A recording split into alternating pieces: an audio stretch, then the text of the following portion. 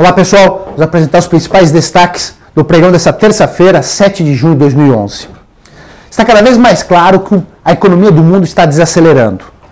A preocupação com relação à dívida dos países europeus continua no radar dos investidores. E reflete tudo isso no mercado de ações. As bolsas no mundo todo caíram fortemente nos últimos dias. Hoje tivemos um alívio.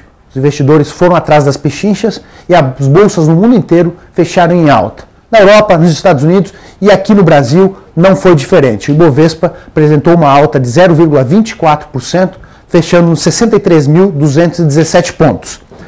Vale destacar que nós tivemos boas notícias ao longo do dia.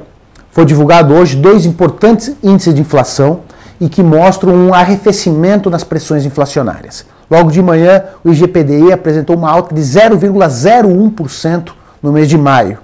Logo em seguida, o IBGE divulgou o IPCA de maio, que é o principal índice de inflação do Brasil, que apresentou uma alta de 0,47%, abaixo das expectativas do mercado. Isso traz um alívio aos investidores que andavam preocupados com a inflação no Brasil. Vale destacar que hoje começou a reunião do Copom e provavelmente amanhã nós teremos uma decisão sobre a nova taxa de juros do Brasil.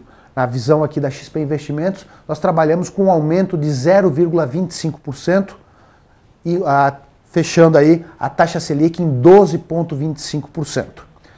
Esses foram os destaques desta terça-feira. Quero desejar a todos um bom descanso e até amanhã. Muito obrigado.